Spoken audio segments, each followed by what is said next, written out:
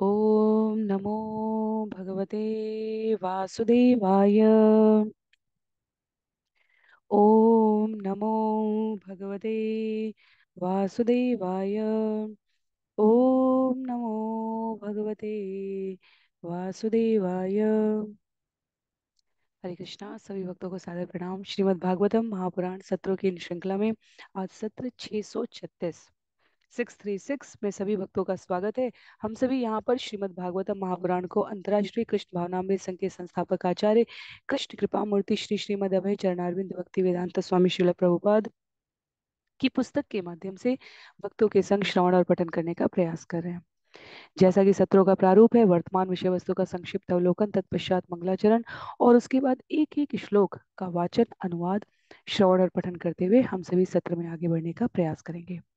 वर्तमान विषय वस्तु की संक्षिप्त पुनरावृत्ति के इस क्रम में यदि हम सभी स्मरण करें तो पिछले सत्र में हमने स्कंद बारह अध्याय तीन, भूमि गीत श्रवण किया था, जहाँ देवी भूमि कलयुग के राजाओं की, पूर्ववर्ती युगों के राजाओं से तुलना करते हुए, कलयुग के जीवों को भगवान की विभूति स्वरूप प्राप्त प्रशासनिक अधिकारी राजा के पद पर स्वयं को अधिष्ठित होने के, करने के पश्चात भी धर्म के जो चार स्तंभ हैं, उनका पालन करने की रुचि न देखते हुए देवी भूमि ने बताया कि ये मनुष्य जीवन का कितना बड़ा अपव्यय है।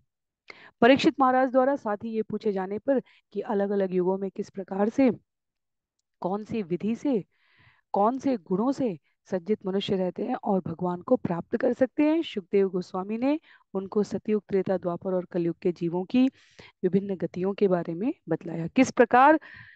हरिनाम, कलयुग का जो युग धर्म बताया गया है, वो मात्र कोरी कल्पना, काल्पनिकता नहीं है, वैदिक वांग्मय का परम सत्य है। और उसकी प्रासंगिकता क्यों है? क्योंकि कलयुग में सत्य, क्षमा, दया, तप, ये जो धर्म के चार स्तंभ हैं ये एक एक चौथाई शेष रह जाते हैं। कह देता है, इसलिए गणना के क्रम में किया जाता है कि सतयुग के तुलना में कलयुग में धर्म के तीन स्तंभ जा चुके होते हैं। एक एक चौथाई बचे हैं। अत्यंत अल्प बचे हैं। तो ये सब व्यवहारिक बिंदु हम सभी ने श्रवण किया, जहाँ पर सुखदेव गोस्वामी से ये सब कुछ सुनने के पश्चात महाराज परीक्षित अत्यंत व्यग्र हो गए और उन्होंने पूछा, क्या कलयुग में कोई गुण विशेष है? और उसमें हमने चर्चा की थी कि किस प्रकार ये कलयुग भक्तों के लिए परम लाभदायक है। जो जब तप, ज्ञान, अध्ययन, तपस्या, तीर्थ यात्रा, भ्रमण अनेकों प्रकार के अन्य सन्मार्ग ग्रहण करने पर अन्य युगों में प्राप्त होता है। कलयुग में वो कृष्ण नाम का कीर्तन करने से, भौतिक संगति के समस्त विकारों से उद्धार हो जाने की प्रक्रिया को प्राप्त कर लेता है। तो अध्याय जहाँ समाप्त हुआ था, वहाँ हमने श्रवण किया था कि सतयुग में जो ध्यान से, त्रेता में जो, यज्ञ से, द्वापर में जो मंदिर में पूजा करने से प्राप्त होता था, कलयुग में केवल हरिनाम कीर्तन से आसानी से प्राप्त किया जा सकता है। आज के सत्र में हम सभी स्कंद बारह अध्याय चार आरंभ करने जा रहे हैं, जहाँ प्रलय की चार कोटियों के बारे में, प्रकार के बारे में बतलाया गया है। मंगलाचरण के पश्चात एक एक श्लोक का वाचन और अनुवाद, श्रवण और पठन करते हुए हम सभी इस सत्र में आगे बढ़ने का प्रयास करेंगे। आरंभ करते हैं मंगलाचरण से। नारायणं नमस्कृत्य नरं चैव नरोत्तमं देवीं सरस्वतीं व्यासं ततो जयमुदीरयेत् शृण्वतां स्वकथा कृष्ण, पुण्यश्रवणकीर्तनं, यद्यन्तस्थो यभद्राणि विदुनोति सुयत्स्यतां नष्टिप्रायेषु भद्रेषु नित्यं भागवत सेवया। भगवत्युत्तमश्लोके भक्तिर्भवति नैष्टिकी। ॐ अज्ञानतिमिरान्धस्य ज्ञानाञ्जनशलाकया चक्षुन्मीलितं येन। तस्मै श्रीगुरुवे नमः। मूकं करोति वाचालं, पङ्गुं लङ्घयते गिरिं। यत्कृपातमहं वंदे परमानन्दमाधवं वाञ्छाकल्पतरुभ्यश्च कृपा सिन्धुभ्येव च। पतितानां पावनेभ्यो, वैष्णवेभ्यो नमो नमः। जय श्री कृष्ण चैतन्य। प्रभु नित्यानंद श्री अद्वैत गदाधर श्रीवासादि गौर भक्तवृंद हरे कृष्णा हरे कृष्णा, कृष्ण कृष्ण, हरे हरे। हरे राम हरे राम राम राम, हरे हरे। हरे कृष्णा हरे कृष्णा कृष्ण कृष्ण, हरे हरे हरे राम हरे राम राम राम, हरे हरे हरे कृष्ण हरे कृष्ण कृष्ण कृष्ण, हरे हरे हरे राम हरे राम राम राम, हरे हरे। हरे कृष्णा। पुनः सभी भक्तों को सादर प्रणाम। सत्र छह सौ छत्तीस सिक्स थ्री सिक्स में हम सभी आज आरंभ करने जा रहे हैं स्कंद बारह, अध्याय चार, जहाँ प्रलय के चार कोटियों प्रकारों के बारे में बतलाया गया है। और कैसे भौतिक जीवन चक्र की इस यात्रा से स्वयं को बचाए रखने के लिए जीव का अंतिम आश्रय, परम आश्रय, भगवत नाम, भगवान की कृपा, भगवान के श्री चरण है। तो आरंभ करते हैं श्लोक संख्या एक से श्री शुकुवाच काल ते परम अणुवाधि द्विपरार्धावधि नृप, कथितो युगमानं च शृणु कल्पलयावपि।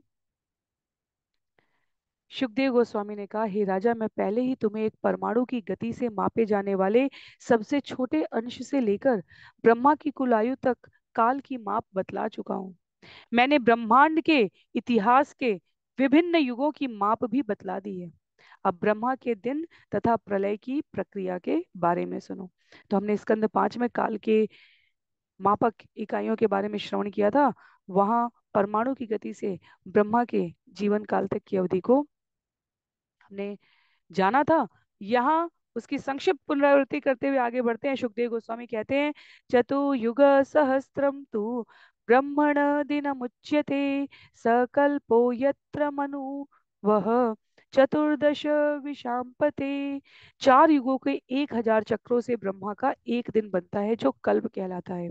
हे राजा, इस अवधि में चौदह मनु आते जाते हैं।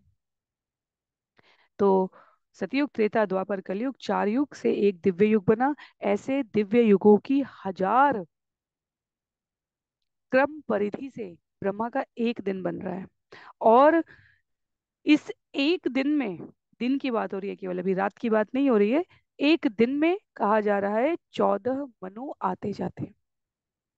कहते हैं श्लोक संख्या तीन में तो एक दिन ब्रह्मा का क्या है? हम तीस कल्प मास की बात करते हैं, एक महीना। संख्या वही है संख्या को नापने की, जैसे जब हम किसी नक्शे को देखते हैं, भारत के नक्शे की बात करें तो हम उसे एक बड़े चार्ट में देख सकते हैं। और वहाँ पर जो मापक इकाई है, वो कह दी जाती है, एक किलोमीटर इतने के बराबर है।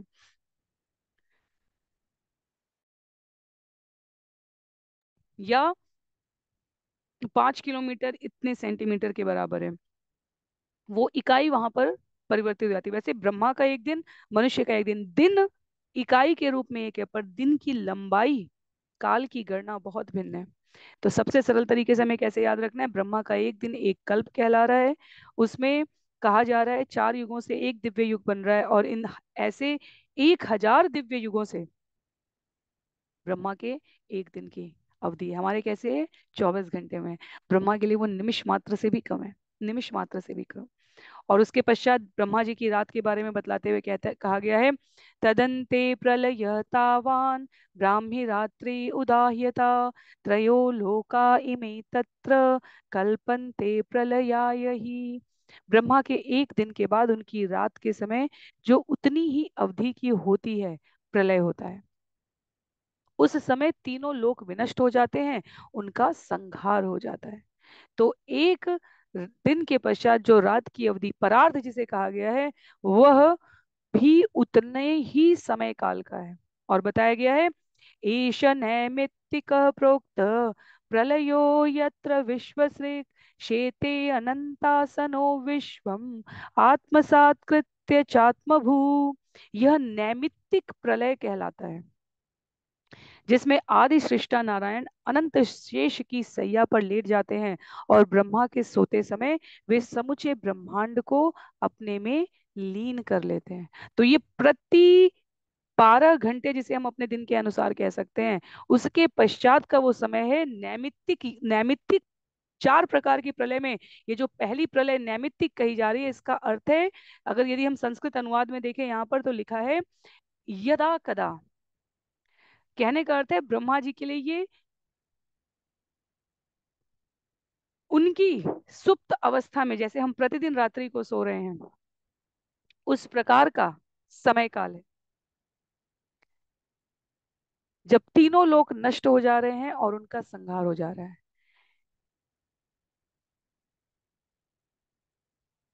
इस ब्रह्मांड के इन लोगों के संहार के पश्चात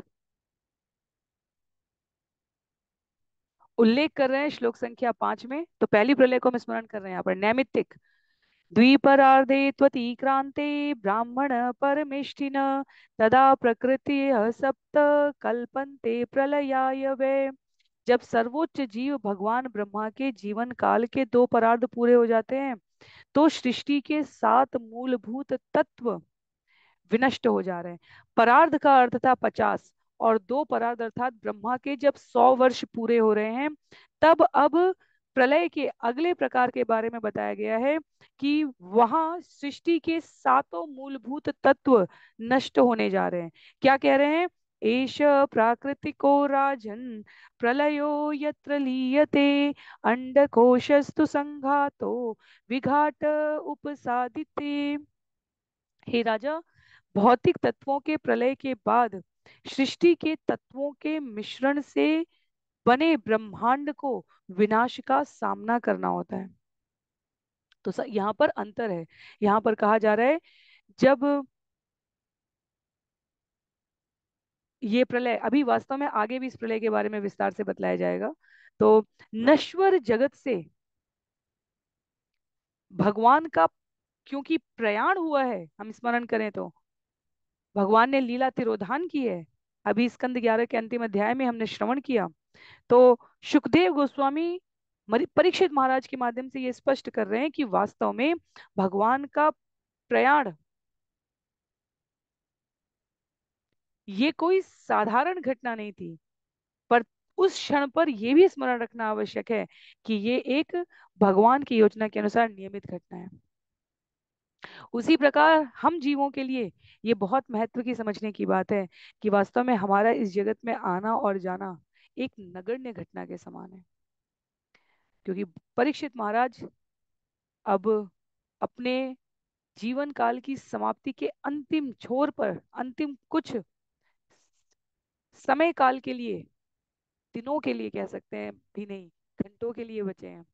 तो ईश्वर की उत्पत्ति के विषय की गंभीर प्रासंगिक व्याख्याओं के पश्चात आदर्श गुरु के रूप में सुखदेव गोस्वामी अपने शिष्य को मृत्यु के लिए तैयार कर रहे हैं। कह रहे हैं, श्लोक संख्या सात में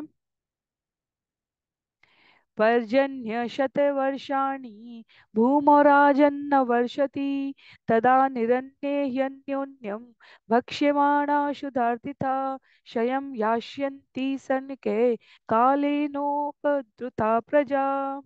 हे राजा जो जो प्रलय निकट आएगा त्यो तो पृथ्वी पर एक सौ वर्षों तक वर्षा नहीं होगी। सूखे से दुर्भिक्ष पड़ जाएगा और भूखी मरने वाली जनता एक दूसरे को सचमुच खा जाएगी। पृथ्वी के निवासी काल की शक्ति से मोहग्रस्त होकर धीरे धीरे नष्ट हो जाएँगे। सामुद्रम देहि किम भौमम रसम सांवर्तको रवि, रश्मि भी पिबते घोरे सर्वम नैव विमुंचती सूर्य अपने संहारक रूप में अपनी घोर किरणों के द्वारा समुद्र का, शरीरों का तथा पृथ्वी का सारा पानी पी लेगा। किंतु बदले में यह विनाशकारी सूर्य वर्षा नहीं करेगा। ततः संवर्तको वन्ही संकर्षण मुखोत्थित, दहत्य वेगोत्थ शून्यान भूवि वरानथ। इसके बाद प्रलय की विशाल अग्नि भगवान संकर्षण के मुख से धधक उठेगी। वायु के प्रबल वेग से संवर्तक ले जाई गई है अग्नि, निर्जीव विराट खोल को झुलसाकर सारे ब्रह्मांड में जल उठेगी। उपर्यद समन्ताच्च शिखाभिवह्नि सूर्ययो विभात्यंडम दग्ध गोमय पिंडवत ऊपर से दहकते सूर्य के तथा नीचे से भगवान संकर्षण की अग्नि से इस तरह सभी दिशाओं से जलता हुआ ब्रह्मांड गोबर के दहकते पिंड की तरह चमकने लगेगा। तत प्रचंड पवनो वर्षाणामधिकं शतं परः सांवर्तको वाति धूम्रम खमरज सावृतम। महान तथा भीषण विनाशकारी वायु एक सौ वर्षों से भी अधिक काल तक बहेगी और धूल से आच्छादित आकाश भूरा हो जाएगा। ततो मेघकुलान्यङ्गं चित्रवर्णान्यनेकश शतं वर्षाणि वर्षन्ति नदन्ति रभ सस्वने हे राजा, उसके बाद नाना रंग के बादलों के समूह बिजली के साथ घोर गर्जना करते हुए एकत्र होंगे और एक सौ वर्षों तक मूसलाधार वर्षा करते रहेंगे। स्मरण करने की बात है कि इस परम ज्ञान के बिल्कुल बाहरी सतह के शोर पर वर्तमान विज्ञान, इस जगत का आधुनिक विज्ञान परीक्षण करने का प्रयास कर रहा है, जहाँ कहते हैं पृथ्वी सौ हज़ार वर्षों तक बहुत अधिक गर्म रहेगी, फिर बहुत, अगले सौ हज़ार वर्षों तक बहुत अधिक ठंडी हो जाएगी और ये ठंडे और गर्म होने का क्रम चलता रहेगा। और बीच में कुछ कुछ समय ऐसा होगा जो मनुष्यों के जीवन के रहने के लिए अनुकूल होता है, प्राणियों के रहने के लिए। यहाँ उस, इस सरफेस इस ऊपरी सतह के ज्ञान को, इसकी पूरी गंभीरता के साथ, प्रामाणिक तथ्यों के साथ प्रस्तुत किया गया है। ब्रह्मा जी के दिन के समाप्ति पर रात्रि काल की प्रलय नैमित्तिक प्रलय है। संपूर्ण भौतिक सृष्टि विलीन हो रही है। मूलभूत सात तत्वों के साथ नहीं, वो दूसरे प्रकार में यहाँ पर संबंधित किया जाएगा। और ये होने से पूर्व की पृथ्वी की घटना के बारे में बताया गया कि अंतिम सौ वर्ष के ये जो क्रम में विनाश की लीला है, ये कितनी गंभीर होती है। तत एकोदकम विश्वम ब्रह्मांड विवरांतरम उस समय ब्रह्मांड की खोल जल से भर जाएगी और एक विराट सागर का निर्माण करेगी। तदा भूमिर गंध गुणम ग्रसंत्याप उदप्लवे ग्रस्त गंधा तु पृथ्वी प्रलयत्वाय कल्पते। जब सारा ब्रह्मांड जलमग्न हो जाता है तो यह जल पृथ्वी के अद्वितीय सुगंधी गुण को गंध हमें पृथ्वी से प्राप्त है। अद्वितीय सुगंधी गुण को हर लेगा और पृथ्वी अपने इस विभेदकारी गुण से विलीन हो, विहीन होकर विलीन हो जाएगी। तो जब हमने सृष्टि भौतिक, तत्वों की गणना में सृष्टि के निर्माण और प्रलय के सिद्धांत को समझे बिना ये जाना था कि कैसे सृष्टि प्रस्तारित हो रही है और कैसे ये तत्व विलीन हो रहे हैं, वहाँ हमने जाना था कि कैसे आकाश से ध्वनि संप्रेषित, आगे प्रस्तार होती है, विस्तार होती है। फिर वायु वायु से अग्नि अग्नि से जल और जल से पृथ्वी आती है। तो रूप, रस, गंध, स्पर्श, ध्वनि, जो ये हम श्रवण करते हैं, हमें ये इन तत्वों से प्राप्त होती है। और जब ये अपने सूक्ष्म तत्वों में, इसी उल्टे क्रम में समेटी जाने लग जाती है तो पूर्ण रूपेण समाप्त हो जाती है। बतला रहे हैं प्रलय के इन प्रकारों में आगे सुखदेव गोस्वामी, अपाम रसम मथो तेज तालीयन्ते अथ नीरसा, ग्रसते तेजसो रूपम वायु तद्रहितम तदा, लीयते चानिले तेजो, वायो खम ग्रसते गुणम, स वै विशति खम राजन, ततश्च नभसो गुणम, शब्दम ग्रसति भूतादिन, भस्तम अनुलीयते। तेजसश्चेन्द्रियाण्यंग दैवान् वैकारिको गुणे, महान् ग्रसत्यहङ्कारं गुणा सत्त्वादयशतं ग्रसते व्याकृतं राजन्, गुणान् कालेन चोदितम्।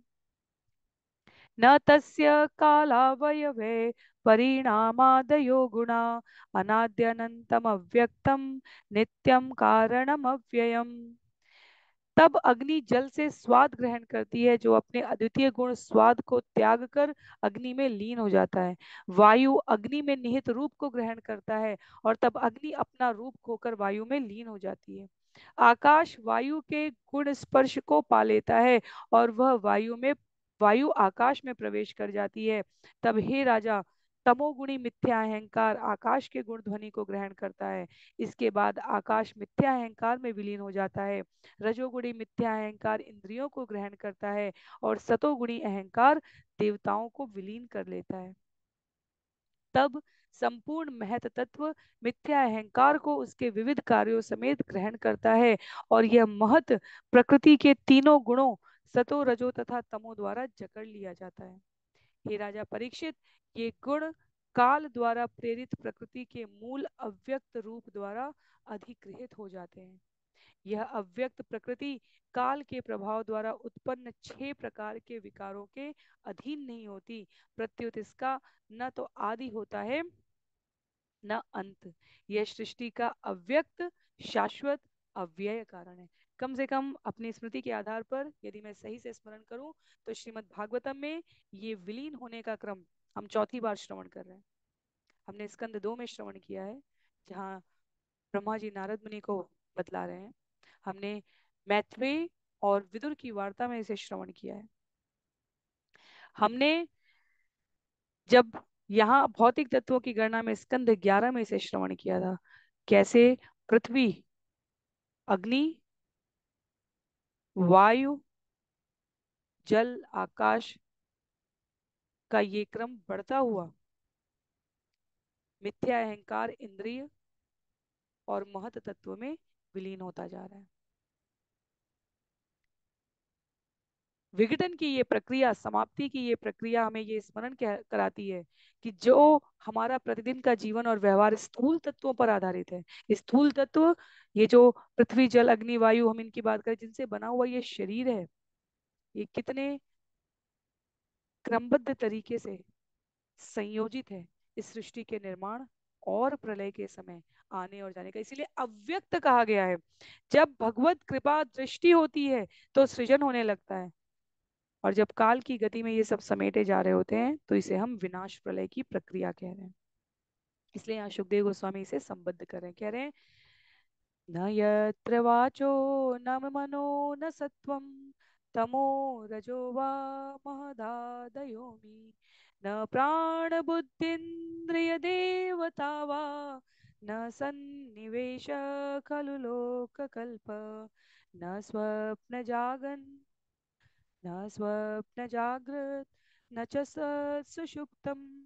न खम जलम्भू अनिलोग्निनर्क संसुप्त वक्षून्यवद प्रतर्क्यम तन्मूलभूतम पदमामनंती प्रकृति की अव्यक्त अवस्था जिसे प्रधान कहते हैं, उसमें न वाणी, न मन, न महत इत्यादि सूक्ष्म तत्व और न ही सतो रजो तथा तमोगुण होते हैं। उसमें न तो प्राणवायु, न बुद्धि, न कोई इंद्रिया या देवता रहते हैं। उसमें न तो ग्रहों की स्पष्ट व्याख्या होती है, न ही चेतना की विभिन्न अवस्थाएँ सुप्त, जागृत तथा सुषुप्ति ही होती हैं। उसमें आकाश, जल, पृथ्वी, वायु, अग्नि या सूर्य नहीं होते। यह स्थिति सुषुप्ति अथवा शून्य जैसी होती है। निसंदेह, यह अवर्णनीय है। किंतु आध्यात्मिक विज्ञान वेदता बताते हैं कि प्रधान के मूल वस्तु होने से यह भौतिक सृष्टि का वास्तविक कारण है। तो जिन सात तत्वों की अभी हम यहाँ पर व्याख्या श्रवण कर रहे हैं, ये अव्यक्त हो जाते हैं। जब सृष्टि समाप्त हो रही है, समाप्त हो चुकी है, भगवान के उदरस्थ में विलीन हो चुकी है, तब इनमें से कुछ भी व्यक्त की अवस्था में ही नहीं है। वास्तव में अस्तित्व ही क्या है मनुष्य का? इसलिए जितना आश्चर्य, जितनी रुचि हमें सृष्टि के निर्माण में होनी चाहिए, उतनी ही अपने मूल अस्तित्व को समझने के लिए सृष्टि के विनाशक्रम को ही जानना आवश्यक है। कहते हैं श्लोक संख्या 22 में, लय प्राकृतिको हुएश पुरुषा व्यक्त यो यदा, शक्तय संप्रलीयन्ते, विवशा काल विद्रुता यह प्रलय प्राकृतिक कहलाती है, जिसके अंतर्गत परम पुरुष तथा उनकी अव्यक्त भौतिक प्रकृति से संबंधित शक्तियाँ काल के वेग द्वारा अव्यवस्थित होकर उनकी शक्तियों से विहीन होकर पूरी तरह से लीन हो जाती है। तो ये स्थिति प्रलय क्या है? ये वो स्थिति है, जब परम पुरुष और उनकी अव्यक्त भौतिक प्रकृति से संबंधित शक्तियाँ काल के वेग द्वारा अव्यवस्थित होकर पूरी तरह उनमें विलीन हो गई है। भगवान की ये अव्यक्त बहिरंगा शक्ति काल के द्वारा संचालित होती हुई सभी प्रकार की व्यक्त अवस्था से परे शक्तियों से रहित प्रतीत होती हुई विलीन हो गई है। बतला रहे श्लोक संख्या तेईस में सुखदेव गोस्वामी, प्रलय प्रलय प्रलय जो शब्द हम श्रवण करते हैं, प्रलय आएगा तो कुछ नहीं बचेगा। वास्तव में कुछ नहीं बचेगा। अर्थ है कि ये जीव की, शरीर की गति तो वैसे भी बिना प्रलय के भी जीव नष्ट हो रहा है, पर इस जीव के शरीर को प्रस्तुत करने वाली स्थूल और सूक्ष्म सभी गतिविधियाँ संकुचित होकर, अव्यक्त रूप में, जहाँ दर्शित ना हो सके, दिख ना सके वैसी विलीन हो चुकी होती है। उसे हम प्रलय कह रहे हैं यहाँ पर। तो ऐसी अव्यक्त अवस्था चार प्रकार की है। तो एक हमने ब्रह्मा जी के रात्रि काल के संदर्भ में सुनी। बतला रहे सुखदेव गोस्वामी, बुद्धि इंद्रियार्थ रूपेण ज्ञानम भाति तदाश्रय, दृश्य व अव्यतिरेकाभ्याम आद्यंतवस्तु यत। एकमात्र पर ब्रह्म ही बुद्धि, इंद्रियों तथा इंद्रिय अनुभूति की वस्तुओं के रूप में प्रकट होता है और वही उनका परम आधार है। जिसका भी आदि तथा अंत होता है, वह अपर्याप्त है क्योंकि वह सीमित इंद्रियों के द्वारा अनुभूत वस्तु है और अपने कारण से अभिन्न है। बहुत ही हमें गंभीर चिंतन जैसी पंक्ति लगती है यहाँ पर, लेकिन यदि विचार करें तो हमारा जो अनुभव है उसको यहाँ पर शब्दों में संकलित किया गया। क्या अनुभव है हमारा? इस जगत में जिसका भी आदि है, प्राकट्य है, उसका अंत है। और इसलिए भगवान जब इस धराधाम पर मनुज रूप में आते हैं तो भगवान लीला तिरोधान भी दिखाते हैं, क्योंकि वो जो समस्त प्रकार की सृष्टियों के संचालक हैं, जिनसे सभी नियम उद्भूत होते हैं, वह इस अनुशासन को अपने जीवन में भी दर्शित कराते हैं। सूक्ष्म और स्थूल भौतिक रूप परमेश्वर की शक्ति से दृश्य बनते हैं। पहले दिखते हैं और फिर समाप्त हो जाते हैं, अप्रकट हो जाते हैं। समाप्ति का अर्थ तो यह है कि भगवान के भीतर ही उपस्थित है। ये जगत भगवान के भीतर उपस्थित है और भगवान इस जगत के भीतर उपस्थित है। अदृश्य, जो दृश्य था, अब वो अदृश्य हो गया। और ये इतना क्रमबद्ध है कि प्रसार से विलीन होने की ये प्रक्रिया उसी क्रम से होती है, जिस प्रकार अभी हमने आकाश से, वायु से, अग्नि से, जल से, पृथ्वी समझा तो पृथ्वी से, जल से, अग्नि से, वायु से आकाश हम समाप्ति के क्रम में भी समझ रहे हैं। और इसलिए कहा गया कि ये स्रोत से मूल रूप से पृथक नहीं है। और इसके लिए जो उपमा जो हम समझ सकें एनालॉजी जिसे हम कहेंगे, उसके लिए कहा गया है, दीप चक्षु च रूपम च, ज्योतिषो न पृथक भवेत, एवं धीखानि मात्रा च, न स्यु अन्यतमात्रितात दीपक, उस दीपक के प्रकाश से देखने वाली आँख तथा देखा जाने वाला दृश्य रूप मूलतः अग्नि तत्व से अभिन्न है। उसी तरह बुद्धि, इंद्रियों तथा इंद्रिय अनुभूतियों का परम सत्य से पृथक कोई अस्तित्व नहीं है। यद्यपि वह परम सत्य उनसे सर्वथा भिन्न होता है। तो कहा जा रहा है, जिसे हम दीपक कह रहे हैं, वो दीपक के प्रकाश से देखने वाली आँख तथा देखे जाने वाले दृश्य रूप मूलतः अग्नि तत्व से अभिन्न है। क्या वास्तव में दीपक अपने आप में क्या है? जो अग्नि तत्व प्रज्वलित है और आँख से जो दृश्यमान प्रकाश के अंश से हम जिस अग्नि तत्व को देख पा रहे हैं, वो दोनों अभिन्न है। कितनी सूक्ष्म व्याख्या है। सूर्य का प्रकाश समस्त प्रकार की। ज्योति का आश्रय, भौतिक दृष्टि से जगत में कहा जाएगा। सूर्य का प्रकाश भगवान से सूर्य को प्राप्त होता है, वो एक अलग विषय है। पर सूर्य के प्रकाश से हमारे नेत्र जिस अग्नि को देख रहे हैं, कहा जा रहा है, जो देखा जा रहा है, जो और जिसके द्वारा देखा जा रहा है, वो कितना अभिन्न है। श्लोक संख्या 25 में, बुद्धि जागरणम स्वप्न, सुषुप्ति इति चोच्यते, माया मात्रम इदम राजन नानात्वम प्रत्यगात्मनि। बुद्धि की तीन अवस्थाएँ जागृत, सुषुप्त तथा सुषुप्त कहलाती हैं। लेकिन हे राजा, इन विभिन्न अवस्थाओं से शुद्ध जीव के लिए उत्पन्न नाना प्रकार के अनुभव, माया के अतिरिक्त कुछ भी नहीं है। इस जगत की समस्त घटनाओं को हम आसानी से समझ सके इसके लिए आचार्य उदाहरण देते हैं जैसे हम प्रतिदिन निद्रा की अवस्था में चले जाते हैं ये जगत उसी प्रकार का है। और अब इस जागृत अवस्था को जिसे हम अभी इस जगत की जागृत अवस्था कह रहे हैं और जो हमारी सुप्त अवस्था है जागृत सुप्त और सुषुप्त जागने और सोने के बीच की जो थोड़ी सी तंद्रा वाली अवस्था है तीनों को संबंधित करते हुए कह रहे हैं सुखदेव गोस्वामी अंततः देखा जाए तो ये नाना प्रकार के जो अनुभव हैं हमारे सोने में, हमारे जागने में, जो प्रतिदिन की दिनचर्या में है, ये सब माया के अतिरिक्त कुछ भी नहीं है। शुद्ध कृष्ण चेतना भावित जीव इसे अनुभूत कर सकता है।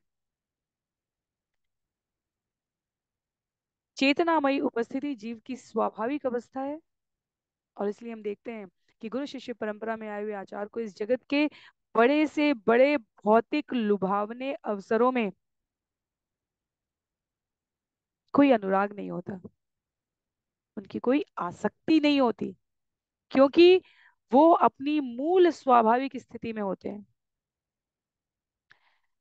तो बतला रहे हैं, क्यों क्यों ये सारी व्याख्या कर रहे हैं सुखदेव गोस्वामी? व्याख्या कर रहे हैं परीक्षित महाराज को, उनकी पूर्ण चेतना की अवस्था में।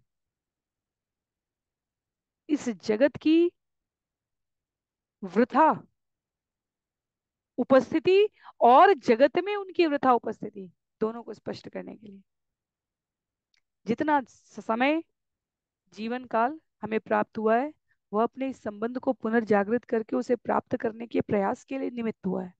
कहते हैं, यथा जल धरा व्योमनी भवंती न भवंती च ब्रह्मणीदम तथा विश्वम अव्यव्युदयाप्ययात जिस तरह आकाश में बादल बनते हैं और तब अपने घटक तत्वों के मिश्रण तथा विलय के द्वारा इधर उधर बिखर जाते हैं, उसी तरह यह भौतिक ब्रह्मांड पर ब्रह्म के भीतर अपने अवयव रूपी तत्वों के मिश्रण तथा विलय से बनता और विनष्ट होता है। तो आकाश में जो हमें बादल दिख रहे हैं, हम उनको देखते हैं कुछ समय तक, वर्षा हुई, फिर वो कहीं अदृश्य हो गए। उस उदाहरण से हमें ये सृष्टि के प्रलय और सृजन का विषय सुखदेव गोस्वामी स्पष्ट करा रहे हैं। सत्यम यवयव प्रोक्त, सर्व अवयविनामिह, विनार्थेन प्रतीयेरन् पटस्येवांग तत्व तंतव सत्यम यवयव प्रोक्त, सर्वावयविनामिह, विनार्थेन प्रतीयेरन् तंतव हे राजा वेदांत सूत्र में यह कहा गया है कि इस ब्रह्मांड में किसी व्यक्त पदार्थ को निर्मित करने वाला अवयवी कारण पृथक सत्य के रूप में उसी तरह देखा जा सकता है। जिस तरह वस्त्र को बनाने वाले धागे, उनसे बनी हुई वस्तु से अलग देखे जा सकते हैं। जब वस्त्र का निर्माण होता है, ये हमने ये हमने वस्त्र को बुने जाने वाले ताने बाने के रूप में भगवान की सृष्टि को समझा था। कहा गया था जैसे हमें जब हम वस्त्र को यूँ देखें और वस्त्र के एक एक महीन धागे को तो हम उसमें वर्टिकल और हॉरिजॉन्टल जिसे कहा जाता है। इस अक्षांतर पर अंतर कर सकते हैं कि किस प्रकार वस्त्र का धागा अपने आप में और वस्त्र में, दोनों में अपने मूल व्यक्त पदार्थ जिसे कहा गया है उसके अनुसार उपस्थित है। तो भगवान इस सृष्टि में भी है और ये सृष्टि भगवान में भी है। ये बतलाने के लिए ये उदाहरण लिया गया है।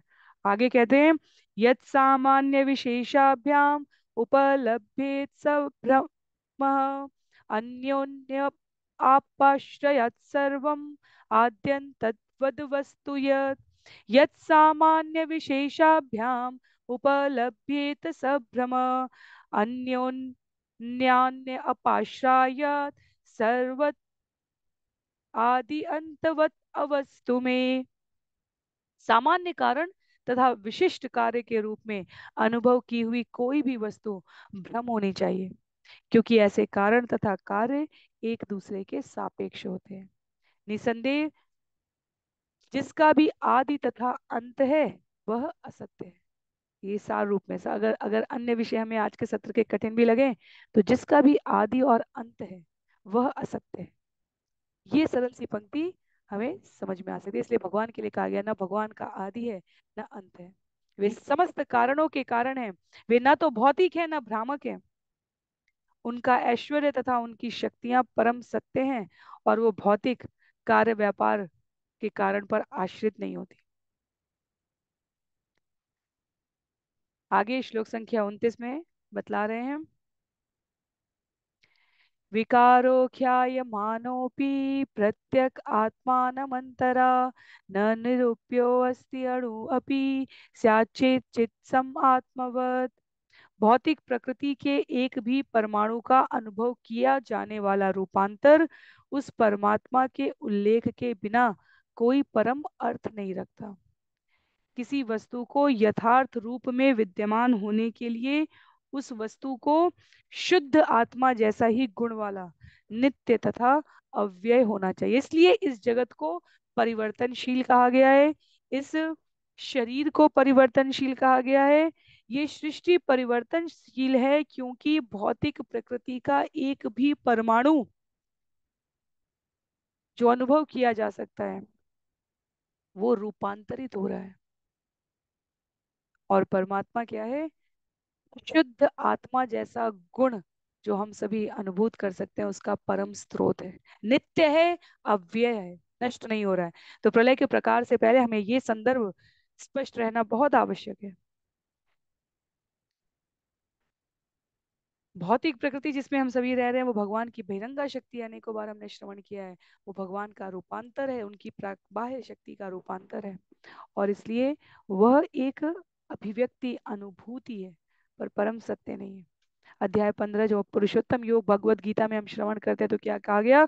ये भौतिक जगत, आध्यात्मिक जगत का परवर्टेड रिफ्लेक्शन विकृत प्रतिबिंब है।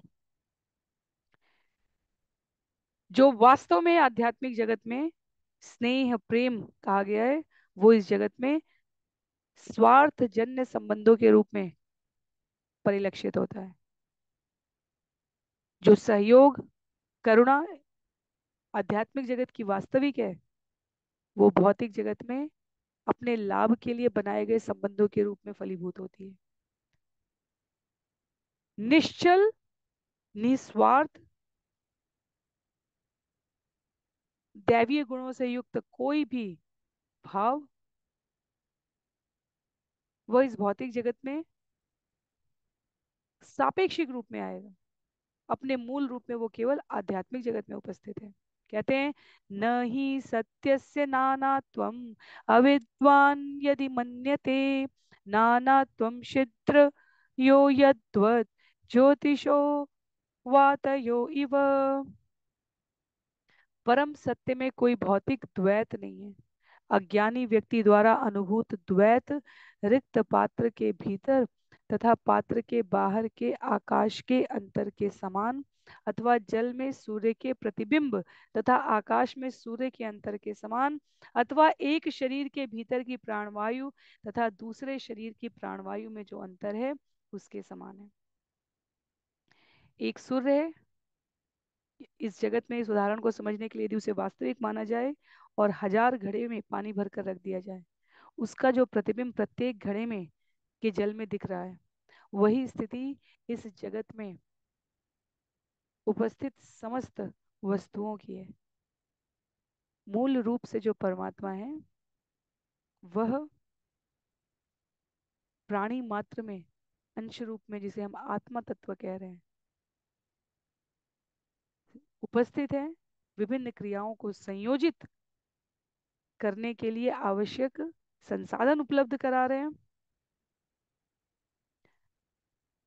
और इन सब संसाधनों की उपलब्धता में यदि हम ये समझते हैं कि हम वो परम सत्य हैं, हम सदा रहने वाले हैं, ये जीवन हमें सर्वत्र समान रूप से सभी संसाधन उपलब्ध कराने वाला है तो ये हमारी अल्पज्ञता है। परम सत्य में कोई भौतिक द्वैत नहीं है। यहाँ ये जो पंक्ति हम श्रवण कर रहे हैं, पहली पंक्ति ही अपने आप में कोई भी द्वैत नहीं, दूसरा कुछ है ही नहीं वास्तव में।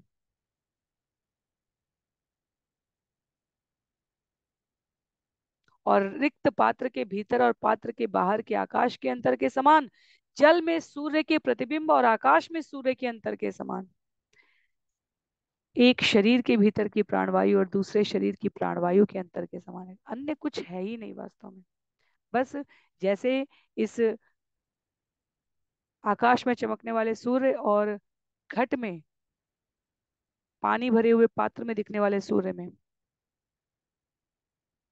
जो द्वैत हमें दिखाई देता है, वो बिल्कुल वैसा ही है। जैसे छोटे बच्चे को फोर व्हीलर छोटी छोटी कार दे दी जाए, चलाओ। और उस चलाने का कोई हेतु नहीं है, कोई उद्देश्य नहीं है, कोई अंत गति नहीं है, कुछ समय का मनोरंजन है वो। वास्तविक गाड़ियों में और उस छोटे से खिलौने गाड़ी में क्या समानता है? आकार रूप में समान देख सकते हैं, आकार रूप में भी नहीं समान देख सकते हैं। आकार रूप में समान देखने का अर्थ है कि यदि उसका छोटा रूपांतरण करके ये हाथ में पकड़ाया गया है तो न तो वो उस समान स्वरूप को धारण कर पाएगा यदि उस, उसको मापा जाए तो और न वो उस प्रकार का कार्य कर पाएगा। उसी प्रकार की हमारी स्थिति है, इस भौतिक जगत के सृष्टि के इन तत्वों से बने इस शरीर के साथ। पर क्योंकि हम सभी भगवान की सृष्टि के उस अंश में शाश्वत तत्व के साथ हैं तो हम इसका सर्वश्रेष्ठ लाभ उठा सकते हैं उस परम गंतव्य वाले शरीर को प्राप्त करने के लिए। कह रहे हैं, आगे इसी को स्पष्ट करते हुए श्लोक संख्या इकतीस में कह रहे हैं, यथा यथा हिरण्यम बहुधा समीयते नृभि क्रियाभि व्यवहार वर्तमसु एवं वचो भी भगवान अधोक्षजो व्याख्यायते लौकिक वैदिक जने लोग विभिन्न कार्यों के अनुसार सोने का उपयोग नाने, नाना प्रकार से करते हैं। इसलिए सोना विविध रूपों में देखा जाता है। इसी तरह भौतिक इंद्रियों के लिए अगम्य भगवान का वर्णन विभिन्न प्रकार के लोगों द्वारा विभिन्न रूपों में सामान्य तथा वैदिक रूप में किया जाता है। तो हर मुंड में मति भिन्न है और उस भिन्नता के आधार पर भगवत तत्व को समझाने की हमारे शास्त्रों में व्याख्या की गई। परम सत्य एक ही है, जैसे सोना एक ही है, कान के, नाक के, गले के, हाथ के, कमर के या विभिन्न विभिन्न अलंकरण बनाने में या स्वर्ण भस्म के रूप में खाने में या वस्तुओं के व्यापार विनिमय में हम स्वर्ण का प्रयोग किसी भी रूप में कर रहे हो। खंभों, दीवारों, सिंहासन मंदिर के ऊपरी कलश को बनाने में किसी भी रूप में हम कर रहे हो, पर जो मूल तत्व है वो एक ही है और हम विभिन्न कार्यों के लिए विभिन्न प्रकार से कर रहे हैं। भगवान एक ही है, भगवत गीता, श्रीमद भागवतम। भगवत गीता में स्वयं भगवान, श्रीमद भागवतम में भगवान के भक्त। उस परम सत्य को अपनी निष्ठा दृढ़ बनाए रखने के लिए स्वयं भगवान के द्वारा प्रकट होकर या अन्यों के अनुभव के द्वारा उसे व्यक्त किया जा रहा है। पर जो भगवान के शुद्ध भक्त नहीं है, भगवान स्वयं कहते हैं, वो मुझे और मेरी शक्तियों को पहले तो अनुभव नहीं कर सकते, अनुभव करके यदि जीवन में लक्षित भी है तो उसका उपयोग नहीं कर सकते। जैसे हम सभी मनुष्य यदि भगवत तत्व को समझकर अपने जीवन का उपयोग उसकी प्राप्ति के लिए नहीं कर रहे हैं तो हम सभी भगवत शक्ति होकर भी इस समय का, इस सुविधा का दुरुपयोग कर रहे हैं। श्लोक संख्या बत्तीस में कहते हैं, यथा घनोर्क प्रभवोर्क दर्शितो। यथा घनोर्क प्रभवोर्क दर्शितो। यर्काशभूतस्य च चक्षुषस्तमा। एवं त्वहं ब्रह्मगुणात्तदक्षितो ब्रह्मान् शंकरस्यात्मन आत्मबंधन यद्यपि बादल सूर्य की ही उपज है और सूर्य द्वारा दृश्य भी होता है तो भी यह देखने वाली आँख के लिए जो सूर्य का ही दूसरा अंश है, अंधेरा उत्पन्न कर देता है। इसी तरह परब्रह्म की विशेष उपज मिथ्या अहंकार जो परब्रह्म द्वारा ही दृश्य बनाई जाती है, आत्मा को परब्रह्म का साक्षात्कार करने से रोकता है, यद्यपि आत्मा भी परब्रह्म का ही अंश है। कितनी सुंदर उपमा है ये। सूर्य है। यदि हम सूर्य को यहाँ परम सत्य माने, सूर्य के द्वारा अवशोषित जल से बादल बने हैं। सूर्य की प्रकाश के एक अंश के रूप में मनुष्य की आँख है। जो आँखें इस दृश्य को, सूर्य को देख पाए, उसके बीच में जो अवरोध है, यदि सूर्य बादलों से ढका है तो आँखें सूर्य का दर्शन नहीं करें। आँखों को प्राप्त होने वाला प्रकाश सूर्य से उद्भूत स्रोत है। आँखों को सूर्य का दर्शन कराने में जो अवरोध बादल है, वो भी सूर्य से उत्पन्न स्रोत है। तो अब हम इसे आध्यात्मिक दृष्टि से कैसे समझे? कहा जा रहा है, एक परब्रह्म है और एक परब्रह्म का अंश आत्मा है, जो हम सभी के शरीर में विद्यमान है, यदि हम जीवित है तो। परब्रह्म और उसका अंश आत्मा और परब्रह्म से ही उपजा यहाँ मिथ्या अहंकार, बादल, वो आवरण, ये आत्मा परब्रह्म के साथ एकात्म, उसका साक्षात्कार नहीं कर पा रही है क्योंकि बीच में मिथ्या अहंकार है। तो ये उपमा है जो यहाँ पर सुखदेव गोस्वामी समझाना चाह रहे हैं। कहते हैं श्लोक संख्या तैतीस में, घनो यदार्क प्रभव विधीर्यते चक्षु स्वरूपम रविमयीक्षते तदा। यदाहंकार यदाहंकार उपाधि आत्मनो जिज्ञासया नश्यति तर्हि अनुस्मरेत।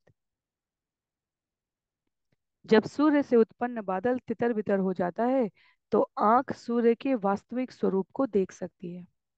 इसी तरह, जब आत्मा दिव्य विज्ञान के विषय में पूछताछ करके मिथ्या अहंकार के अपने भौतिक आवरण को नष्ट कर देता है तो वह अपनी मूल आध्यात्मिक जागरूकता को फिर से प्राप्त कर लेता है। तो सूर्य से उत्पन्न बादल तितर बितर हो जाता है। भगवान से ही उद्भूत मिथ्या अहंकार जब हमारे जीवन से समाप्त हो जाता है, तब और वो तितर बितर होता कैसा है? जैसे वायु का वेग है, वैसे ही ज्ञान का प्रवाह है। कितनी सुंदर उपमा है। वायु का वेग है, उसी प्रकार ज्ञान का प्रवाह है। जो इस मिथ्या अहंकार को नष्ट कर देता है, ये भौतिक आवरण समाप्त हो जाता है। जीव अपनी मूल आध्यात्मिक जागरूकता को प्राप्त कर पाता है। तो जो आध्यात्मिक रूप से जागृत नहीं होते, वे कभी ईश्वर को, कभी स्वयं के और ईश्वर के संबंध को नहीं जान पाते। सृष्टि के विलय होने पर विलीन होने पर वो अव्यक्त अवस्था में नष्ट हो चुके हैं।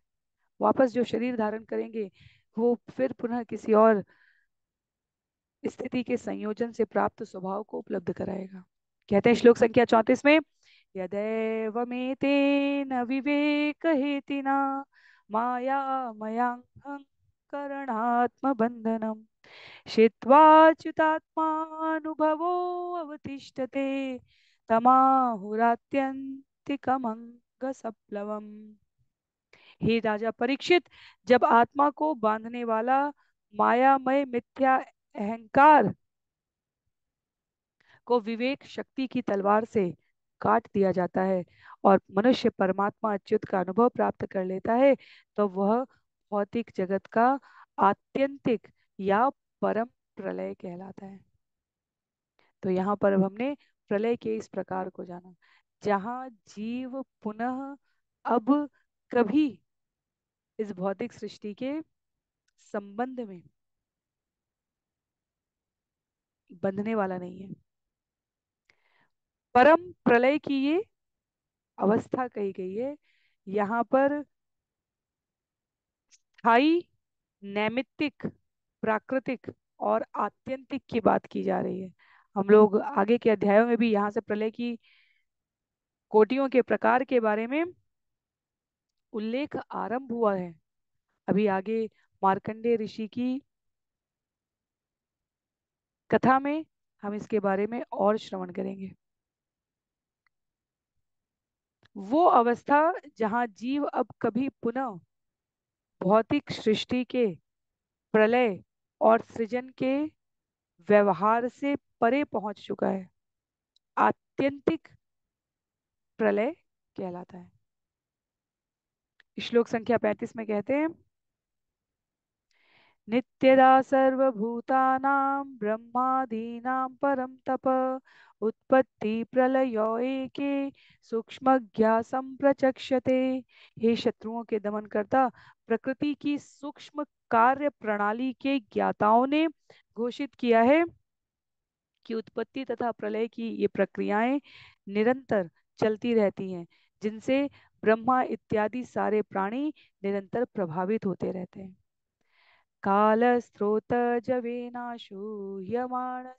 नित्यदा परिणामिनाम् जन्म प्रलय हेतव सारी भौतिक वस्तुओं में रूपांतर होते हैं और वे काल के प्रबल प्रवाह द्वारा तेज़ी से क्षीण की जाती हैं। भौतिक वस्तुओं द्वारा प्रदर्शित अपने अस्तित्व की विभिन्न अवस्थाएँ उनकी उत्पत्ति तथा प्रलय के शाश्वत कारण है। तो जो कुछ भी नष्ट हो रहा है और पुनः सृजन हो रहा है, ये विभिन्न प्रदर्शित अवस्थाएँ काल के प्रबल प्रवाह द्वारा रूपांतरित होती रहती है। तो इसे हम प्रलय और सृजन कहते रहते हैं। श्लोक संख्या सैंतीस में देखा जाए तो यही अर्थ है प्रलय और सृजन का, बनना और बिगड़ना। और ये संचालित हो रहा है काल की विभिन्न गतिविधियों में। क्योंकि सीमित समय अवधि दी गई है काल के द्वारा तो भौतिक वस्तुएँ रूपांतरित हो रही हैं। श्लोक संख्या सैंतीस में कह रहे हैं अनादियन्तवतानेन कालेनीश्वरमूर्तिना अवस्थानैव दृश्यन्ते वीयति ज्योतिषामिव। भगवान के निर्विशेष प्रतिनिधि स्वरूप आदिहीन तथा अंतहीन काल द्वारा उत्पन्न जगत की ये अवस्थाएँ उसी तरह दृश्य नहीं है। जिस तरह आकाश में नक्षत्रों की स्थिति में होने वाले अत्यंत सूक्ष्म परिवर्तनों को नहीं देखा जा सकता। प्रतिदिन यदि हम आकाश को देख भी रहे हैं खगोल शास्त्र अपने आप में पूरा एक विज्ञान है। आकाश में निरंतर गतिशीलता है। सूर्य सदैव गति कर रहा है, पर हमारी आँखों से सूर्य की समान गति को कोई अनुभूत नहीं कर सकता। जैसे यहाँ आचार्यों ने उदाहरण दिया और बहुत ही व्यवहारिक उदाहरण है। हमारे नाखून, हमारे बाल, ये बढ़ रहे हैं, पर हम इनकी इस गति को देख नहीं पाते। हाँ एक निश्चित समय के पश्चात हमें उनमें वृद्धि दिखने लगती है। उसी प्रकार भगवान का जो शक्ति स्वरूप काल, तत्व है वो सूक्ष्म और प्रबल है। जो भौतिक सृष्टि का दोहन करने के लिए यहाँ रहना चाहते हैं, उनको वो नष्ट कर देता है और जो भगवत तत्व को प्रसारित करना चाहता है, उनका वो सहायक बन जाता है। इसीलिए कहा गया, जब हम भगवान को समय देते हैं तो वो काल का प्रस्तार हो जाता है। हमारे जीवन में तब भी समय अव्यय रूप से उतना ही उपस्थित रहता है। और जो अपना समय इस जगत की विभिन्न प्रकार की क्रियाओं में लगाने लग जाते हैं, जो उनको इंद्रियों को तुष्ट कर सके, उनके लिए समय कब व्यतीत हो जाता है, उन्हें पता भी नहीं चलता। श्लोक संख्या अड़तीस में कह रहे हैं नित्यो नैमित्तिको चैव तथा प्राकृतिको लय आत्यंतिक च कथित कालस्य गति ईदृशी। इस प्रकार काल की प्रगति को चार प्रकार के प्रलय के रूप में वर्णित किया जाता है। ये है स्थायी नैमित्तिक, प्राकृतिक तथा आत्यंतिक। क्या उल्लेख है? एता कुरु एता कुरु श्रेष्ठ जगद्विधातु नारायणस्याखिल सत्त्वधाम्न लीला कथास्ते कथिता समासत नाजोप्यभिधातुमीश हे कुरुश्रेष्ठ, मैंने तुम्हें भगवान नारायण की लीलाओं की ये संकथाएँ संक्षेप में बतला दी। भगवान इस जगत के सृष्टा हैं और सारे जीवों के अनंत आगार हैं। यहाँ तक कि ब्रह्मा भी उन कथाओं को पूरी तरह बतलाने में अक्षम है। क्यों कहते हैं यहाँ पर सुखदेव गोस्वामी? क्योंकि ब्रह्मा की उत्पत्ति जहाँ से हुई है, ब्रह्मा वहाँ से कथा बतला सकते हैं। भगवान की लीलाएँ ब्रह्मा की उत्पत्ति और उनके विलीन होने से। परे हैं। और भगवान की लीला सिर्फ़ भगवान बतला सकते हैं, इसलिए स्कंद एक जब आरंभ होता है, तब वहाँ पर व्यास देव को भगवान का साहित्यिक अवतार कहा गया है। और सुखदेव गोस्वामी व्यास देव के पुत्र हैं और वहाँ से इन कथाओं को श्रवण कर रहे हैं। श्लोक संख्या चालीस में उल्लेखित किया गया है, संसार सिंधु मति दुस्तर मुत्तीर्षो नान्य प्लवो भगवत पुरुषोत्तमस्य। लीला कथारस निषेवण मंतरेण पुंशो भवेद्विद्विद दुःख वादितस्य। असंख्य संतापों की अग्नि से पीड़ित तथा दुर्लभ संसार सागर को पार करने के इच्छुक व्यक्ति के लिए भगवान की लीलाओं की कथाओं के दिव्य आस्वादन के प्रति भक्ति का अनुशीलन करने के अतिरिक्त कोई अन्य उपयुक्त नाव नहीं है। इस जगत को पार करने के लिए अनेकों प्रकार की नावें हैं। पर वास्तव में भगवान की कथा के दिव्य आस्वादन के द्वारा जीवन में भक्ति का, सेवा का अनुशीलन करने के अतिरिक्त और कोई भी मार्ग बहुत लंबा है। आश्वस्ति योग्य नहीं है। वो हमें अंततः भगवत प्राप्ति करा ही देगा।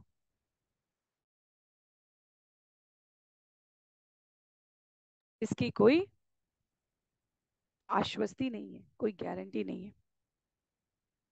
तो जिसे भव ज्वर कहा गया है, वो भगवान के नाम की और लीला की औषधि से दूर किया जा सकता है। आगे यहाँ पर बतला रहे हैं श्लोक संख्या इकतालीस में। पुराण संहितामेताम ऋषि नारायणो व्यय, नारदाय पुरा प्राह, कृष्ण द्वैपायनाय बहुत दिन बीते सारे पुराणों की यह आवश्यक संहिता अच्युत नर नारायण ऋषि ने नारद से कही थी, जिन्होंने फिर इसे कृष्ण द्वैपायन वेद व्यास से कही।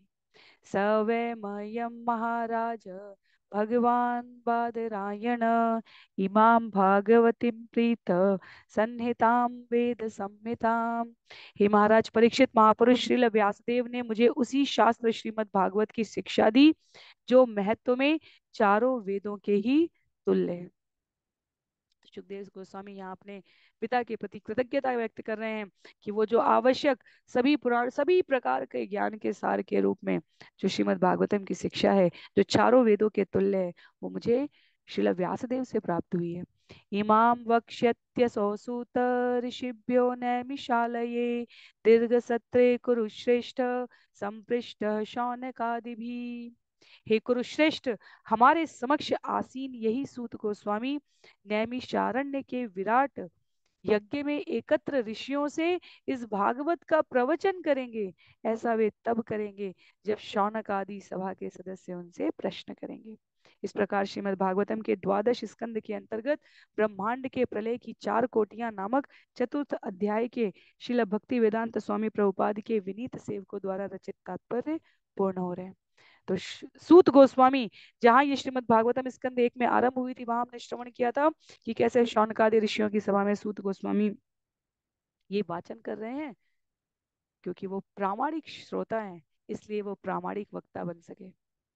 गुरु शिष्य परंपरा के इस क्रम में व्यास देव जी से ये ज्ञान शुद्ध, सुखदेव गोस्वामी ने लिया और सुखदेव गोस्वामी महाराज परीक्षित को जब ये बता रहे हैं, तब उस सभा में बैठे हुए सूत गोस्वामी को निर्दिष्ट है उन्हें ये संकेत प्राप्त हो रहा है, जैसे रिले रेस में बैटन पास किया जाता है तो उन्हें ये संकेत प्राप्त हो रहा है कि अब आपको इस कथा को आगे प्रचारित करना है।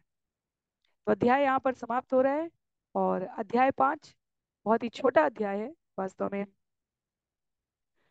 बहुत ही कम पृष्ठ का अध्याय है। हम लोग उसे भी श्रवण करने का साथ में प्रयास कर लेते हैं। मात्र दस से पंद्रह श्लोकों के बीच में महाराज परीक्षित को सुखदेव गोस्वामी का अंतिम उपदेश।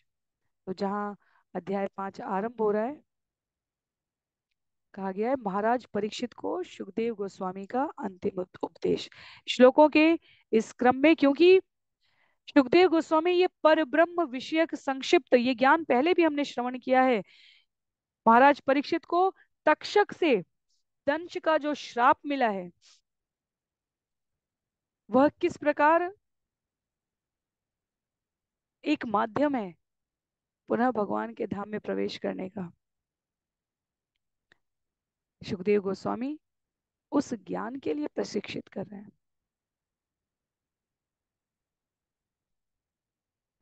कहते हैं सुखदेव गोस्वामी यहाँ पर, श्री शुकुवाच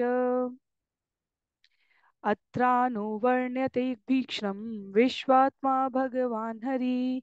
यस्य प्रसादजो ब्रह्मा, रुद्र क्रोध समुद्भव। सुखदेव गोस्वामी ने कहा, इस श्रीमद् भागवत की विभिन्न कथाओं में भगवान हरि का विस्तार से वर्णन हुआ है। जिनके प्रसन्न होने पर ब्रह्मा जी उत्पन्न होते हैं और जिनके क्रोध से रुद्र का जन्म होता है। तो ये ये बिल्कुल आरंभ में हमने सृष्टि के निर्माण में स्कंद तीन में यदि मुझे संभवतः सही से याद है तो हमने श्रवण किया था। विस्तृत सारांश, क्योंकि अब श्रीमद भागवतम वास्तव में यहाँ बिल्कुल अंतिम स्कंद के अंतिम अध्यायों में प्रवेश कर रहा है। तो सुखदेव गोस्वामी के कथन का सार है, इस ज्ञान को प्राप्त करने और कराने वाले ब्रह्मा जी। जो हमें सर्वोच्च प्रतीत होते हैं। उनके जीवन का एकमात्र उद्देश्य भी भगवत धाम वापस जाना है। बद्ध जीव को भगवान के समर्पण के लिए आवश्यक मार्गदर्शन प्रदान करके। तो कहते हैं सुखदेव गोस्वामी, ब्रह्मा जी तक सोचो कि उन्हें भी वापस ये शरीर त्याग कर भगवत धाम वापस जाना है। त्वं तु राजन् मरिष्येति पशु बुद्धिमिमां जहि, न जात प्रागभूतोद्य देहवत्वं न नंक्ष्यसि हे राजा, तुम यह सोचने की पाश्विक प्रवृत्ति की मैं मरने जा रहा हूँ, त्याग दो। तुम शरीर से सर्वथा भिन्न हो, क्योंकि तुमने जन्म नहीं लिया है। भूतकाल में ऐसा समय नहीं था जब तुम नहीं थे, और तुम विनष्ट होने वाले भी नहीं हो। न जातु, न वे हम ऐसा कभी नहीं था कि तुम नहीं हो, ऐसा कभी नहीं होगा कि तुम नहीं रहोगे। भगवान परीक्षित, भगवान अर्जुन को कहते हैं सुखदेव गोस्वामी यहाँ परीक्षित महाराज को कह रहे हैं। और इसलिए यदि हम स्मरण करें स्कंद एक के अंतिम अध्याय में, अध्याय 19 में, जिसे यहाँ उद्धृत किया गया तात्पर्य में, राजा परीक्षित ने कहा था, हे ब्राह्मणों, तुम मुझे पूर्ण शरणागत के रूप में स्वीकार करो। और भगवान की प्रतिनिधि स्वरूप माता गंगा मुझे उसी रूप में स्वीकार करें, क्योंकि मैंने पहले ही भगवान के चरण कमलों को अपने हृदय में रख लिया है। तो तक्षक या कोई भी जादू भरी वस्तु आकर मुझे काट ले। उससे पहले मेरी एकमात्र इच्छा ये है कि भगवान के कार्यकलापों के बारे में मैं श्रवण कर सकूँ। तो वैसे भी महाराज, परीक्षित के मन में कोई पाश्विक भय नहीं है। किंतु सुखदेव गोस्वामी, कहीं किसी कोने में कोई चिंता व्याप्त न हो, इसलिए इस कड़ी भाषा का, प्रखर शब्दों का प्रयोग करते हैं। जैसे भगवत गीता में अर्जुन के लिए बोला है भगवान ने, अर्जुन को वास्तव में नहीं कोई आवश्यकता है भगवत गीता की? हमें सदैव स्मरण रखना चाहिए। भगवत गीता हम सबके लिए बोली गई है। अर्जुन के माध्यम से, यहाँ परीक्षित महाराज के माध्यम से, ये मृत्यु का पार्श्विक भय अपने जीवन से निकाल दो। यदि हृदय स्थल पर भगवान के श्री चरण उपस्थित हैं, यदि चिंतन भगवान के कार्यों में, लीलाओं में, नाम गुणों में, व्यवहार में लगा हुआ है तो इस चिंता रूपी मृत्यु के भय की कोई जीवन में जगह नहीं होनी चाहिए। न भविष्यसी भूतवा तम पुत्र पौत्रादि रूपवान बीजांकु अवदेत्यादि यथा नल। तुम अपने पुत्रों तथा पौत्रों के रूप में फिर से जन्म नहीं लोगे, जिस तरह बीज से अंकुर जन्म लेता है और पुनः नया बीज बनता है। प्रत्युत तुम भौतिक शरीर तथा उसके साज सामान से सर्वथा भिन्न हो, जिस तरह अग्नि अपने ईंधन से भिन्न होती है। हमें लगता है कि हमने लकड़ी, घी, ये सब सज्जित किया तो अग्नि प्रज्वलित हुई। पर यदि हम सृष्टि के तत्व के बारे में देखें तो अग्नि पहले से उपस्थित है। केवल अनुकूल परिस्थितियों में वो स्वयं को प्रस्तुत कर रही है। अग्नि पहले से उपस्थित है। लकड़ी में यदि अग्नि नहीं है, लकड़ी और घी में यदि अपने अपने स्तर पर व्यक्त होने वाली अग्नि का अंश होता तो फिर दोनों के संयोजन से उत्पन्न होने वाली इस क्रिया में उपस्थित अग्नि पहले से दृश्यमान होनी चाहिए थी, पर ऐसा नहीं होता। तो पुत्र पौत्र के रूप में जन्म, पुनर्जन्म के इस चक्र में तुम नहीं पड़ोगे कहते हैं, स्वप्ने यथा शिरच्छेदम पंचत्वाद्यात्मन स्वयं यस्मा पश्यति देहस्य, तत आत्मा यजो अमर। स्वप्न में मनुष्य अपने ही सिर को काटा जाते देख सकता है और वह यह समझ सकता है कि उसका आत्मा, उसकी आत्मा स्वप्न के अनुभव से अलग खड़ी है। इसी तरह जगते समय मनुष्य यह देख सकता है कि उसका शरीर पाँच भौतिक तत्वों का फल है। इसलिए यह माना जाता है कि वास्तविक आत्मा उस शरीर से पृथक है जिसे वह देखता है और वह अजन्मा तथा अमर है। मैं अमुक व्यक्ति हूँ इस पहचान से परे। ये जो मैं तत्व है, ये आत्म तत्व के साथ संबद्ध कर देने पर जीव को अपने वास्तविक परिचय का बोध रहता है। तो ये सारे उदाहरण शीघ्रता से एक एक करके सुखदेव गोस्वामी इसलिए प्रकट कर रहे हैं कि महाराज परीक्षित के मन में कहीं किंचित मात्र भी यदि कोई भय व्याप्त हो, जो कि है नहीं, पर उनके इस अभय की अवस्था को प्राप्त करने के लिए हम सभी के लिए उदाहरण है। कहते हैं, घटे भिन्ने घाट, घटाकाश, आकाश सद्यथा पुरा एवं देहे मृते जीवो, ब्रह्म संपद्यते पुनः। जब घड़ा टूट जाता है तो घड़े के भीतर का आकाश पहले की तरह आकाश बना रहता है। उसी तरह जब स्थूल तथा सूक्ष्म शरीर मरते हैं तो उनके भीतर का जीव अपना आध्यात्मिक स्वरूप धारण कर लेता है। मन सृजति वैदेहान गुणान कर्माणि चात्मन। तन्मन सृजते माया, ततो जीवस्य संस्कृति आत्मा के भौतिक शरीर, गुण तथा कर्म भौतिक मन द्वारा ही उत्पन्न किए जाते हैं। मन स्वयं भगवान की माया शक्ति से उत्पन्न होता है और इस तरह आत्मा भौतिक अस्तित्व धारण करता है। तो ये विषय हमने श्रवण किया अभी, पूर्ववर्ती क्योंकि यहाँ अलग अध्याय पर आज के सत्र में हमने पूर्ववर्ती अध्याय में ही इस उत्पन्न होने के आत्मा के इस विभिन्न स्वरूप के गुणों को धारण करने वाले व्यवहार के बारे में श्रवण किया है।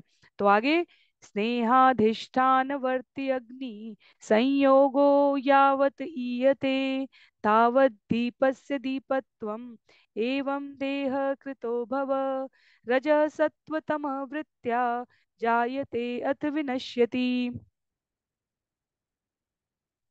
दीपक अपने ईंधन पात्र बत्ती तथा अग्नि के सम्मेल से ही कार्य करता है। इसी तरह भौतिक जीवन शरीर के साथ आत्मा की पहचान पर आधारित होने से उत्पन्न होता है और रजो, तमो तथा सतो गुणों के कार्यों से विनष्ट होता है जो शरीर के अवयवी तत्व हैं।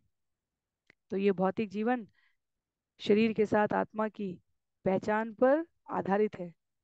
शरीर के साथ आत्मा की पहचान पर। और प्रकृति के इन विभिन्न सतरज, तम, मिथ्या, अहंकार से ये सब जो अवयव तत्व है, उनसे बन और बिगड़ रहा है। न तत्रात्मा स्वयं ज्योति व्यक्त, अव्यक्त यो पर, आकाश इव चाधारो ध्रुवो नंतोपम तत। शरीर के भीतर का आत्मा स्वयं प्रकाशित है और दृश्य स्थूल तथा अदृश्य सूक्ष्म शरीरों से पृथक है। यह परिवर्तनशील शरीरों का स्थिर आधार बना रहता है, जिस तरह आकाश भौतिक रूपांतर की अपरिवर्तनशील पृष्ठभूमि है। इसलिए आत्मा अनंत और भौतिक तुलना के परे है।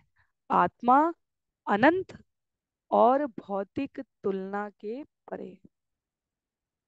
अब तक के समस्त आत्मा से संबंधित विश्लेषणों में यदि हम किंचित भी ध्यान पूर्वक श्रवण करते हैं तो ये शरीर और आत्मा अलग हैं।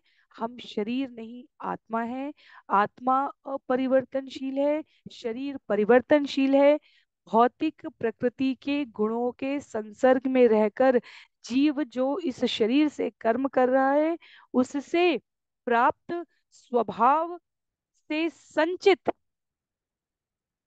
गुण और कर्म के उपादान को आत्मा अगले शरीर में लेकर प्रवेश करती है और इस प्रकार ये क्रम बना रहता है।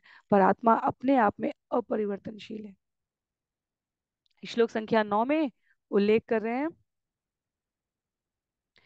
एवं आत्मान नमात्मस्थाम आत्मनेवामृष प्रभो बुद्धयानुमान गर्भिण्या वासुदेवानुचिंतया हे राजा, भगवान वासुदेव का निरंतर ध्यान करते हुए तथा शुद्ध एवं तार्किक बुद्धि का प्रयोग करते हुए अपनी आत्मा पर सावधानी से विचार करो कि यह भौतिक शरीर के भीतर किस तरह स्थित है? तो ये जो आत्म प्रज्ञ चेतना की बुद्ध अवस्था है, जिसमें हम सभी स्मरण कर सकें, सदैव चिंतन कर सकें, सदैव अनुभव कर सकें कि हम इस शरीर से भिन्न है। और जैसे युद्ध में जाते हुए कमांडर के द्वारा सैनिकों को बहुत ही वीरोचित संभाषण के द्वारा प्रेरित किया जाता है। वैसे ही यहाँ पर सुखदेव गोस्वामी महाराज परीक्षित को उनके जीवन की बिल्कुल अंतिम अवस्था में तक्षक तुम्हें काटने आएगा, भयभीत होने की आवश्यकता नहीं है, क्योंकि तुम ये शरीर नहीं, आत्मा हो। ये सारा ज्ञान जो तुमने इस शरीर से सुना है और साधा है, उससे तुम अपने वास्तविक संबंध, अभिधेय और प्रयोजन को समझ पाए हो। तो कह रहे श्लोक संख्या दस में, चोदित विप्रवाक्य न ताम थक्षति तक्षक, मृत्यवो नोपधक्ष्यंती मृत्यु नाम मृत्युमीश्वर। ब्राह्मण के शाप से भेजा हुआ तक्षक सर्प तुम्हारी असली आत्मा को जला नहीं सकेगा। मृत्यु के दूत तुम जैसे आत्मा के स्वामी को कभी नहीं जला पाएँगे। क्योंकि तुमने भगवत धाम जाने के मार्ग के सारे खतरों को पहले से ही जीत रखा है। कौन नहीं जा सकता भगवत धाम जिसके जीवन में भोग आ सकती है, जिसके जीवन में शरीर के प्रति अत्यधिक अनुराग है, जो भगवत तत्व के बारे में अभी श्रवण नहीं किया, पठन नहीं किया, चिंतन नहीं किया, व्यवहार में सेवा भाव नहीं लेके आया, जिसकी अभी भगवान के श्री चरणों में प्रतिबद्धता नहीं है, ये सारे भगवत धाम जाने के लिए आवश्यक खतरे हैं। और कहते हैं, सुखदेव गोस्वामी, तुमने तो ये सारे खतरे क्योंकि इस शरीर से, की आसक्ति से काम, क्रोध, लोभ, मद, मोह, मत्सर, मिथ्या, अहंकार, ये सब तो तुमने पहले ही नष्ट कर दिया। तुम तो उपस्थित हुए अपने आप को शरणागत करके ये कहते हुए कि आप सब अब मेरे भगवत धाम जाने के द्वार को अनावृत करें। तो सुखदेव गोस्वामी कह रहे हैं कि, हे संत स्वभाव राजा, आप तो मृत्यु के पहुँच से पहले भी दूर थे। इसी भागवतम में आपने अजामिल का श्रवण किया है। शुद्ध कृष्ण भक्त के रूप में भगवत धाम जाने के लिए आप तत्पर हैं, आप बधाई के प्राप्त हैं, पात्र हैं। कहते हैं श्लोक संख्या ग्यारह और बारह में अहम ब्रह्म परम धाम, ब्रह्म अहम परमं पदम, एवं समीक्ष्य चात्मानम् आत्मन्याधाय निष्कले, दशन्तं तक्षकं पादे, लेलिहानं विशानने न द्रक्ष्यसि शरीरं च, विश्वं च पृथगात्मन तुम मन में यह विचार लाओ कि मैं परब्रह्म परम धाम से अभिन्न हूँ और परम गंतव्य परब्रह्म मुझसे अभिन्न है। इस तरह अपने को परमात्मा को सौंपते हुए जो सभी भौतिक उपाधियों से मुक्त हैं, तुम तक्षक सर्प को जब वह अपने विष से पूर्ण दांतों से तुम्हारे पास पहुंचकर तुम्हारे पैर में काटेगा तो देखो तक देखोगे तक नहीं। नहीं तुम अपने मरते हुए शरीर को या अपने चारों ओर के जगत को देखोगे, क्योंकि तुम अपने को उनसे पृथक अनुभव कर चुके होगे। श्रीमद भगवत गीता में जो हम मृत्यु के तैयारी के लिए अभ्यास की बात भगवत गीता अध्याय आठ श्लोक संख्या पाँच से पंद्रह तक श्रवण करते हैं, तब यदि जिन श्रोताओं को रुचि हो, वास्तव में इन दो श्लोकों का ये अनुवाद अपने संग रख लें। प्रतिदिन कम से कम सोलह माला। वैसे तो शिल प्रभुपाद ने दो घंटे का श्रवण कहा है, पठन कहा है, पर यदि संभव हो तो नियमित एक घंटे का श्रवण हमें अवश्य करना चाहिए। जिनके पास पठन की उपलब्धता नहीं है, उन्हें नियमित एक घंटे का श्रवण कम से कम अवश्य करना चाहिए। और उसी प्रयास में ये एक घंटे का सत्र निर्धारित किया गया था। इस नियमित श्रवण में दो बिंदु जो हम हम सदैव स्मरण रख सकें। हमें चिंतन करना चाहिए इस पंक्ति का कि अपने मरते समय हम इस शरीर को या इस आसपास के जगत को देखने तक का विचार ना करें, क्योंकि हम उनसे पृथक अनुभव कर चुके हों। जहाँ हम इस जगत की सभी भौतिक उपाधियों से मुक्त हो, संबंधों से मुक्त हो और केवल भगवान के स्मरण से युक्त हो। तो इस प्रकार से अध्याय यहाँ समाप्त हो रहा है। सुखदेव गोस्वामी अंतिम श्लोक में कह रहे हैं, महाराज परीक्षित को ए तत्ते कथितम तात, यत आत्मा पृष्ठवान नृप, हरे विश्वात्मनश्चेष्टा किम भूय श्रोतुमिक्षसी? हे प्रिय राजा परीक्षित, मैंने तुमसे ब्रह्मांड के परमात्मा भगवान हरि की लीलाएँ, वे सारी कथाएँ कह दी, जिन्हें प्रारंभ में तुमने पूछा था। अब तुम और क्या सुनना चाहते हो? तो इस प्रकार श्रीमद् भागवतम के द्वादश स्कंद के अंतर्गत महाराज परीक्षित को सुखदेव गोस्वामी का अंतिम उपदेश नामक पाँचवें अध्याय के शिला भक्ति वेदांत स्वामी प्रभुपाद के विनीत सेवकों द्वारा रचित तात्पर्य पूर्ण हुए। इस अध्याय में जो कुछ भी महाराज परीक्षित पूछते चले गए, क्योंकि अब सातवां दिन आ गया है, जहाँ इस धराधाम से ये शरीर रूपी जीवन काल समाप्त होने वाला है। सुखदेव गोस्वामी कहते हैं, अपने जीवन में किसी प्रकार का भय, कोई शेष इच्छा, कुछ भी संचित रहित भाव से मुक्त हो जाओ, तुम्हें इसमें अब कहीं कुछ स्मरण करने की अतिरिक्त आवश्यकता नहीं है। केवल इन कथाओं को, इनके सार को, भगवान की उपस्थिति को अनुभव करो और तुम इस शरीर से और इस जगत से स्वयं को पृथक अनुभव करोगे। तो यह अध्याय यहाँ पर समाप्त हो रहा है। इस अध्याय के साथ आज का सत्र भी समाप्त हो रहा है। अध्याय छह, जहाँ महाराज परीक्षित के निधन की वार्ता कही गई है। वहाँ हम सभी श्रवण करेंगे इस घटनाक्रम को कि कैसे महाराज परीक्षित पुराणों के सार, भगवान के उत्तम श्लोक, ये अमृतमय लीलाएँ, ये भागवत सुनकर अभय का दिव्य पद प्राप्त करते हैं। हम सबके जीवन के उद्देश्य में भी वास्तव में सार तत्व यही है। अभय, इस जगत में खाने, सोने के लिए हम प्रयास कर रहे हो, ऐसा लग सकता है कि हम अपने पुरुषार्थ का प्रयोग कर रहे हैं, अपनी रक्षा करने के लिए, अपनी इंद्रियों को तुष्ट करने के लिए, पर वास्तविक जो अभय हमें प्राप्त होता है। अभय चरणारविंद भक्ति वेदांता, स्वामी शिल प्रभुपाद, जिन्होंने गुरु शिष्य परंपरा में इस ज्ञान को प्रस्तुत किया है, उसको सम्यक रूप से, नियमित, प्रतिबद्ध तरीके से श्रवण करके हम इस क्रम को प्राप्त कर सकते हैं। सारा मृत्यु का भय दूर हो चुका है परीक्षित महाराज का। तो अगले सत्र में हम सभी अध्याय छः महाराज परीक्षित का निधन, इस कथा को श्रवण करेंगे। आज के लिए सत्र को यहीं पर समाप्त करते हैं। श्रील प्रभुपाद की जय, श्रील गुरुदेव की जय, अनंत कोटि वैष्णव वृंद की जय श्रीमद भागवतम महापुराण की जय। हरे कृष्णा।